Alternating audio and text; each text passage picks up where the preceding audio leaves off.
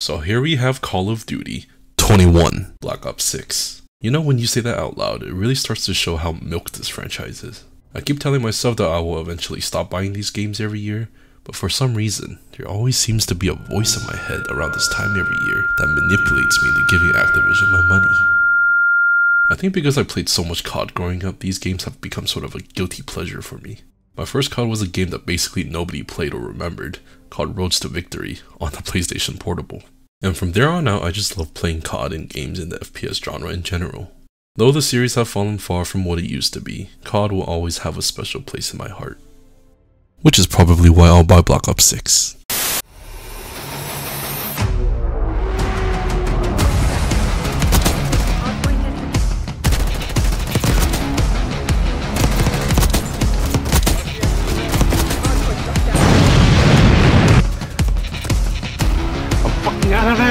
Oh, he dived off the fucking cliff.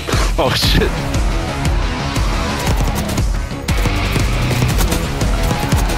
Oh, get shit on. Oh, oh, oh. I'm just too good at this game.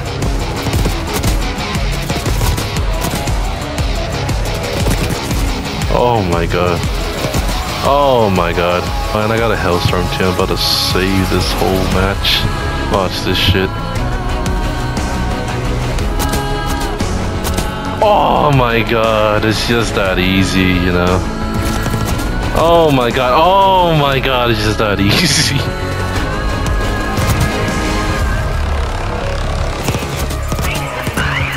Oh my god, it's just that easy, JJ.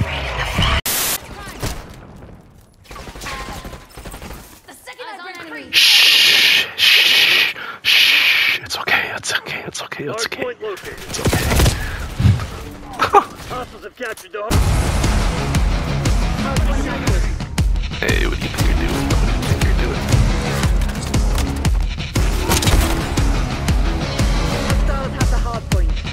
One torpedo incoming on your location. You just never learn.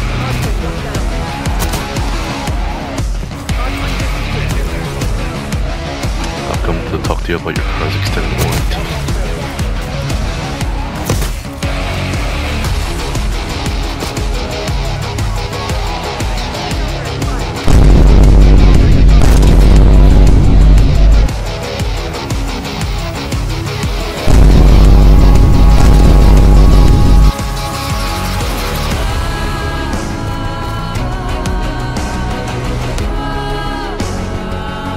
What the fuck?